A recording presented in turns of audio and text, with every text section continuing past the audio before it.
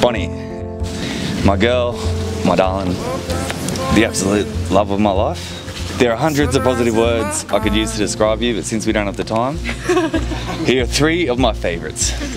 You're funny, you're caring, and you're absolutely beautiful. I promise to do everything I can to continue to make our life an amazing adventure. And I know that as long as I'm with you, I'm happy wherever life takes us. In our marriage, I promise to always love you, even when you play Call of Duty till dawn. I promise to always make time for you, even when I'm stuck working around the clock.